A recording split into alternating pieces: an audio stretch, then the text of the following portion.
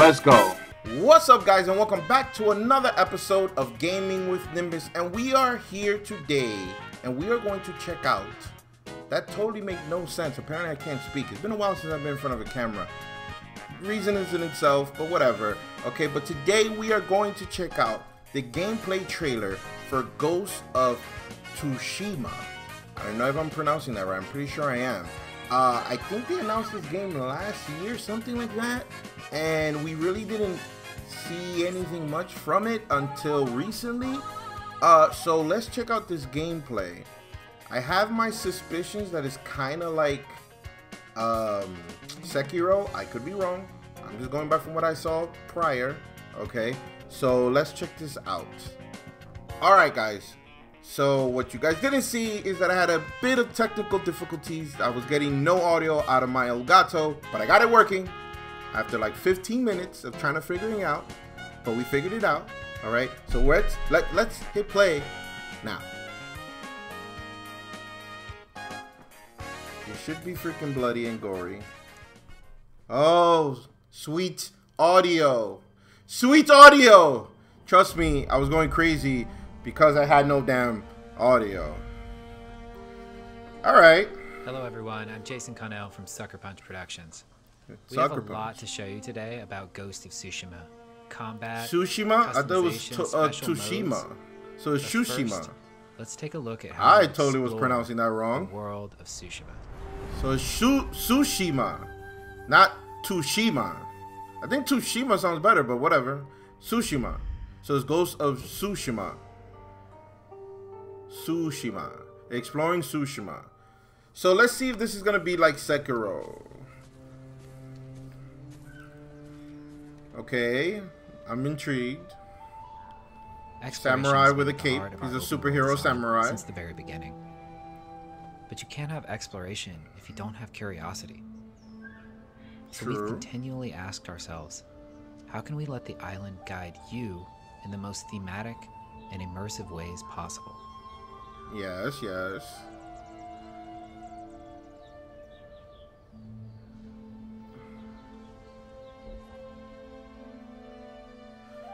Whoa. That's the map? Is this open world like that? Is this like a a, a samurai uh um what's it called um Red Redemption? Is this like a samurai version of Red Dead Redemption? Kind of like uh, Zelda Breath of the Wild So you could just travel. Oh, yeah, horse just shows up. Okay, so far because of the horse, very Red Dead Redemption ish. So you can just travel. It's completely open world. Just go. Wow.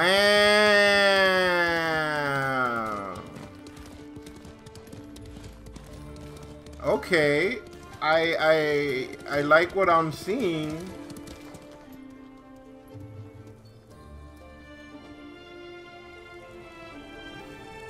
If you notice, I'm, I'm looking at my my other screen just to make sure that everything's okay. Cause legit, I was like 15 minutes trying to fix this. So you collect bamboos. It's very Breath of the Wildish.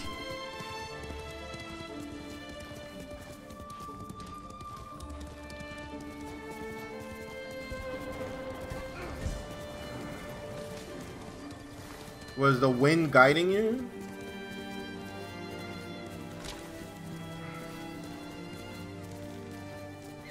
Wow.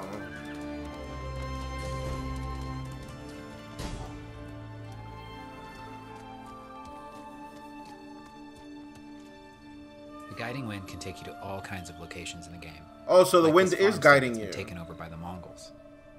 It can also take you to your next big story moments, or even help you find rare collectibles. But what about the things that you don't know about, that you haven't seen yet, that you don't know exist? Keep your eyes peeled for other visual cues. Smokestacks on the horizons, interesting and odd-shaped trees, or maybe even animals trying to get your attention. Quickly, number. What do you call this horse? Nobu? Nobu? I could have heard that wrong. Yagata. Yagata Forest.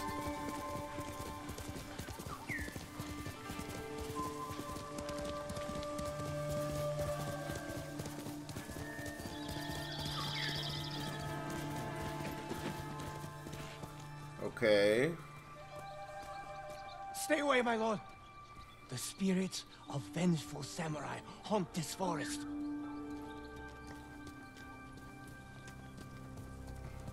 Alright, okay. So you just pick Let's up go, shit just like in Breath of the Wild. You just pick up items and stuff. Which is pretty dope.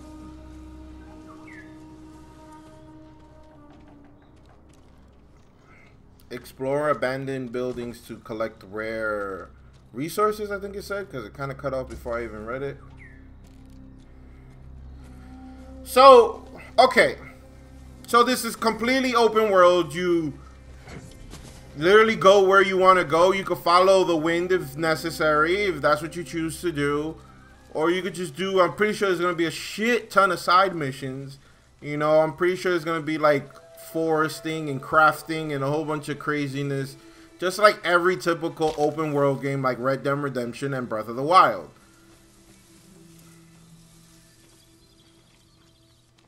Honor the shrine.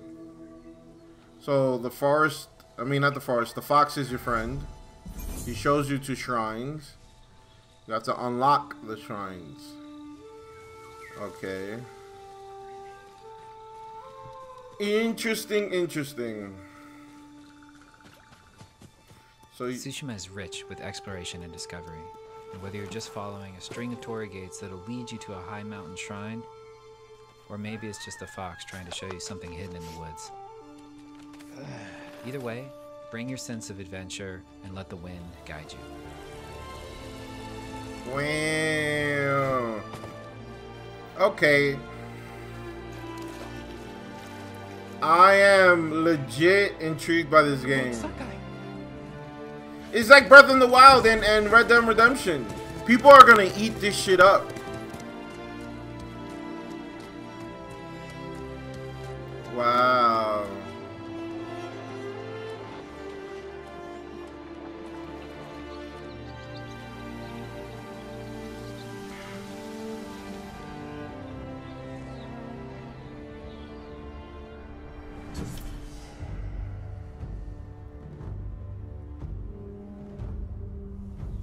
Jin the Samurai. This is Nate Fox from Sucker Punch. Uh, no duh. Now, we just showed you some exploration. You're not gonna let's be from another company. Check out some combat. Okay, combat.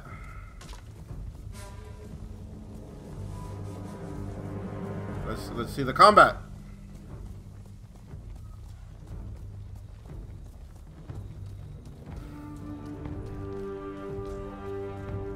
Ever seen a samurai movie, you know what to expect.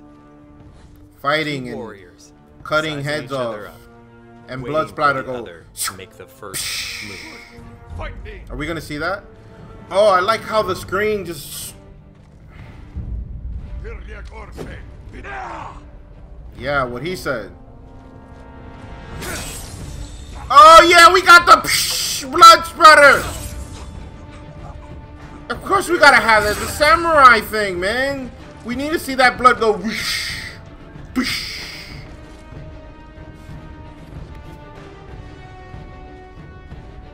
Oh man. As you can see, the I like it. I like it a lot. For Jin to succeed, he has to use real, skillful precision in fighting them. No wasted Okay. energy. Every strike must count. Like a true samurai. Ooh, en la cabeza. Oh, he just blocked the arrow with the sword. Oh no, that's badass.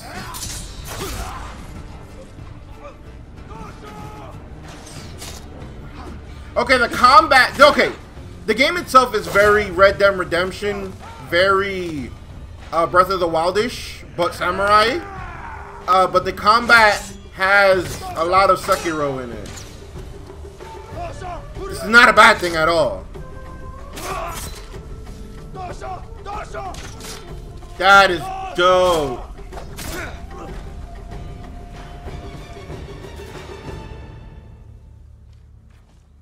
Oh! He wiped off the blood. He went whoosh with the blood. Oh, he paid his respects to the people that he killed. Like a true samurai. Jin the Ghost. Jin the Samurai, Jin the Ghost. Okay, so that was Jin fighting as a samurai. But now let's see him take on the same group of Mongols as the dishonorable Ghost. As the What? Ghost, he'll use every dirty trick he can think up to even the odds. Wait, what do you mean? Using fear as a weapon.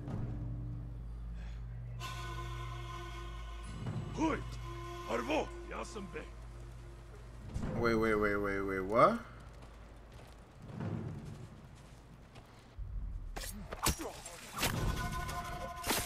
So is he a samurai or a ninja? I'm confused.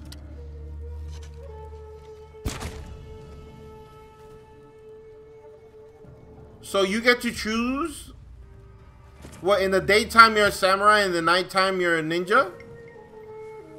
That's kind of weird because samurais and ninja are usually at all with each other, so it's kind of weird that a person is both samurai and ninja.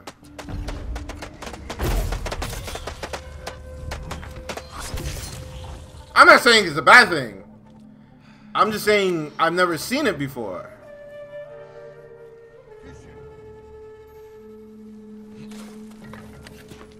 Okay, I'm I'm intrigued. I don't know if that's what it is. If in the daytime, in the daytime you're a samurai, and in the nighttime you're a ninja, very Jekyll and Hyde-ish.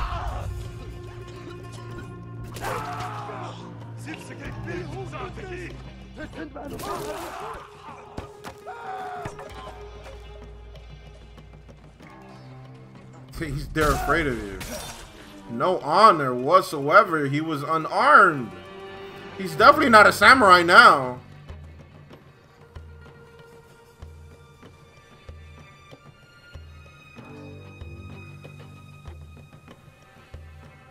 Wow, wow, wow.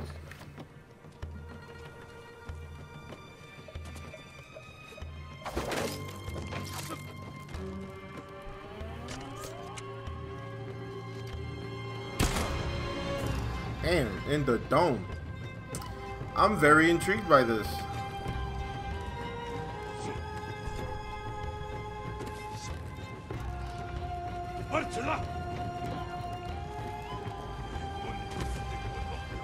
So this part, when you're a ninja, you're very stealthy, very Assassin Creed-ish. There's a lot of elements in this game, which is a good thing. Ooh, very brutal. Hold to ignite.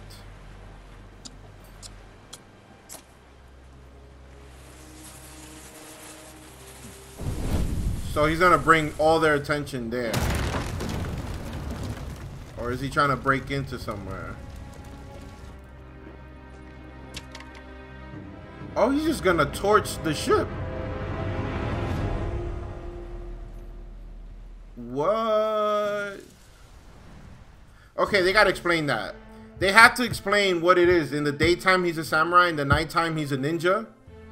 Cause see, daytime ninja. You I mean samurai. that while fighting as the samurai, or sneaking around as the ghost, Jin had on a different set of armor. Yes. That's because Very the so. armor in this game actually gives you different mechanical advantages. It's Oh, not that's just dope. the way it looks. It helps accent your chosen playstyle. As you explore the world, you'll discover Omamori charms. They'll give you Or do you choose? in battle. Do you choose to play as a samurai or as a ninja? you'll develop all new techniques which transform hmm. Jin from a samurai into the ghost. But the thing is, you get to decide how those techniques evolve and grow over time. It's always worth keeping an eye out for dye flowers. Find enough of them, and you can change the color of an armor. So not only do you get to choose how the ghost gameplay evolves, but you can fine tune the look as well. Oh, that's dope! So even if you were to get the same thing, you could change it to the color you want, finding the dye flowers. It wouldn't be a Sucker Punch game if it didn't have photo mode. In our new photo mode, we have features such as color grading, depth of field, so you can focus on the right objects. Jesus have a bunch of Christ. New features that Pho- really photos with filter. movement that's so great about. Instagram You can control the wind's direction, the speed. You Oh, that's change dope. out the particles to different types of leaves and fireflies. You can even select So- a track of music from our original score that might be a little bit more fitting. So if you you doing a photo, what? or maybe you actually want to do a video, there's something here for you. Here's a few that I've created. And can you like automatically put them up on your social media? I guess not. Japanese voice track. Oh, so you could play in either English or Japanese? Ooh, am I gonna want to play this in strictly Japanese and make it very authentic? I The just Japanese might do voice that. track option with subtitles is a perfect fit for our game. So yeah, I, I agree. Before the first scene even starts, you'll be able to turn this option on. I just might play this in all Japanese. Oh, oh yes! This is... Yeah, this is my type of shit. I think I'm gonna play this in strict Japanese.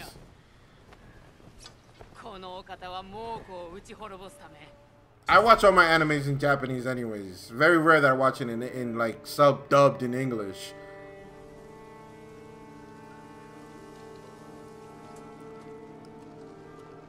Here at Sucker Punch, we are huge fans of samurai cinema. We wanted to create a I way could tell. for you I could tell. like you're playing your favorite samurai movie. So we created a windy, black and white, film grained out mode that you can turn on from the very beginning of the game. Okay, I don't want. I I I I understand why they did that, and that's dope.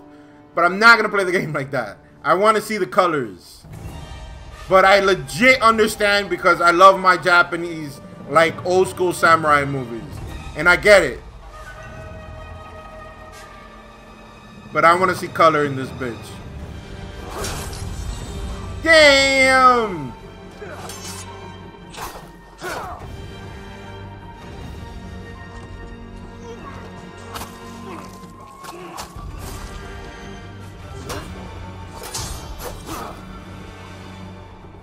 This game, this game, this game. Can you say game of the year? I just might say game of the year here. Today, we've shared with you some of the unique ways that you can explore the island of Tsushima. We've also shared with you Tsushima! some of the ways that you can fight as a samurai, Not Tsushima. or assassinate as the Tsushima. ghost, or customize Jin, or play in special ways. Tsushima. Ghost of Tsushima. we have so much more to show you in the future. Ghost of Tsushima comes out on July 17th. Thank Yep. you so much for watching. Today. buy for me. We'll see you later. I applaud you guys. I applaud you guys. Awesome. This game looks awesome. Cannot wait. It's Breath of the Wild, but Japanese and samurai and ninjas apparently. And if you never played uh, uh, Breath of the Wild, then Red Dead Redemption, but samurai. All right, all right. I'm I'm gonna stop it here. Okay. Okay. Oh my god. This game is the shit. Okay? Me that I love all like Asian culture and Japanese and samurai and ninjas. I don't know if you get to choose to play as a samurai or as a ninja. Or in the daytime you're a samurai and in the nighttime you're a ninja. Not really 100% sure on that. But that's badass because it's two different game style. Or at least two different combats. wise, I guess. Uh, customization looks crazy.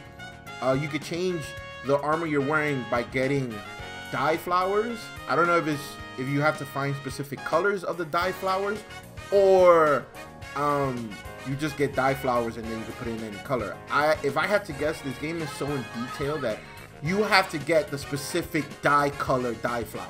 So you have to find blue dye flower, or red dye flower, or yellow dye flower, or, or shit brown dye flower, whatever the case may be. Combat looks crazy, gameplay looks crazy, idea of the game looks crazy, it looks stunning. It looks like I'm watching, just like they say, an old school samurai showdown movie from Japan, from Japanese, I mean. Um, and I'm all in it.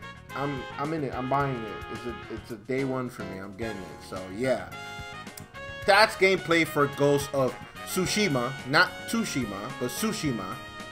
Uh, I hope you guys enjoyed it because I know I did. Okay, so I'm gonna end the video here. If you like this video, give me the thumbs up, comment down below, and as always, please, please, please, please, please, do not forget to subscribe. I'll catch you guys on the next episode of Gaming with Nimbus. Deuces.